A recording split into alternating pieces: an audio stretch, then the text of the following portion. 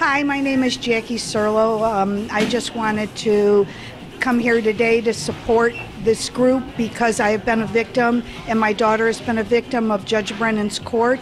And Judge Brennan was very demeaning and mean to my daughter and condescending. And I feel that I can't, well, I can't say too much more. She was very unfair to us. She never heard our side of the story. And um, so now we're still in court a year later, and we haven't seen my granddaughter for a year. Um, I feel that she needs to be pulled from the bench because she does not look at, she doesn't read anything, she doesn't look at any side of the cases. Thank you. I was a victim of Judge Brennan. I am a victim of Judge Brennan.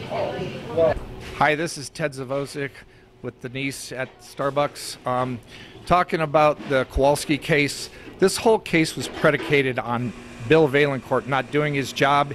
He's the one who brought charges. He's the one who put Pam Moss to railroad this man.